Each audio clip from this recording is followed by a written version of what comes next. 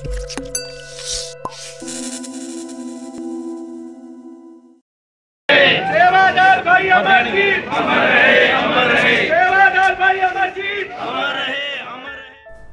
से सुनील वर्मा की रिपोर्ट। नेत्रदानी अमरजीत इंसा की अर्थी को बेटियों ने दिया कंधा। अब दूसरों की आँखों में उजाला करेंगी अमरजीत की आँखें। डेरा सच्चा सौदा के सरसा ब्लॉक से 15 मेंबर एवं कर्मठ सेवादार अमरजीत इंसान शुक्रवार अल सुबह अपनी सांसारिक यात्रा पूरी कर कुल मालिक के चरणों में जा विराजे।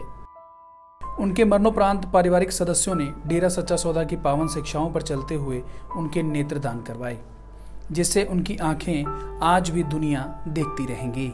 उधर नेत्रदानी की अंतिम विदाई के समय डेरा सच्चा सौदा की बेटा बेटी एक समान मुहिम पर चलते हुए सचखंड वासी की बेटियों द्वारा अपने पिता की अर्थी को कंधा व मुखाग्नि देकर एक अनूठी मिसाल कायम की गई।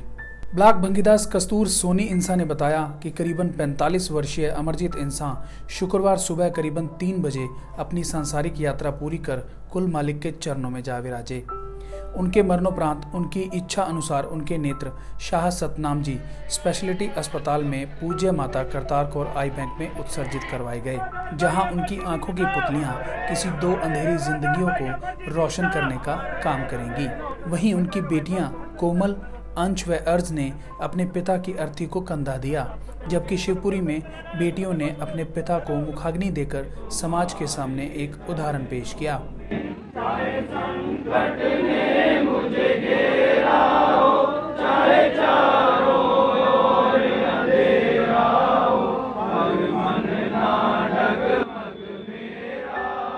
डेरा श्रद्धालुओं ने अरदास का शब्द बोलकर नेत्रदानी को अंतिम विदाई दी।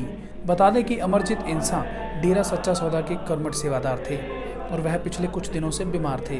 वे अपने पीछे पत्नी सीमा और तीन बेटियाँ कोमल, अंश व अर्थ सहित भरा पूरा परिवार छोड़ गए। उनकी अंतिम विदाई के समय उनके पिता जगन्नाथ, भाई तरसेम ग्रोवर, भतीजा मोनू सहित सरसा व आसपास के ब्लॉक से काफ़ी संख्या में डेरा श्रद्धालु मौजूद रहे। नेत्रदानी अमरजीत इंसा को श्रद्धांजलि स्वरूप नमित नामचर्चा 21 अगस्त को शिव चौक चोपड़ा वाली गली मुल्तानी धर्मशाला में आयोजित होगी। नामचर्चा का समय दोपहर 12 से 1 बजे का होगा।